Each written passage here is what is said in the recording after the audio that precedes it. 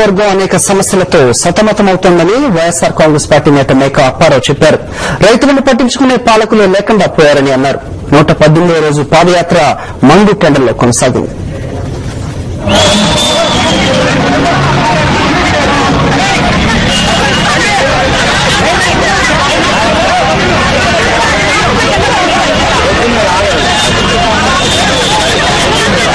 షర్మిల పాదయాత్ర ప్రత్యర్థి పార్టీల గుండెల్లో వణుకు పుట్టిస్తుందని చెప్పారు వైఎస్ఆర్ కాంగ్రెస్ పార్టీ నేత మేకా అప్పారావు.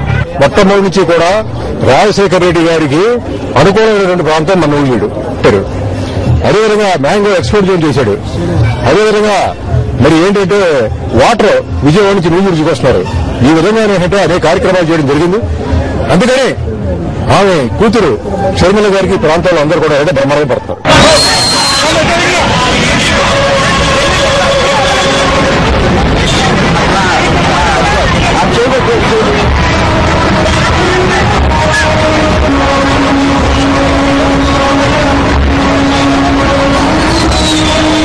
నేను ఎంఏబీడీ చేశాను.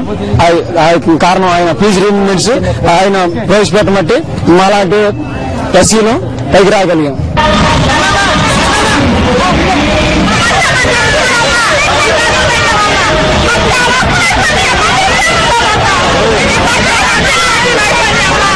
ఫీజు రీఎంబర్స్మెంట్ లాంటి పథకం ఎంతో మంది పేద విద్యార్థులకు లైఫ్ ఇచ్చిందని చెబుతున్నారు స్టూడెంట్స్.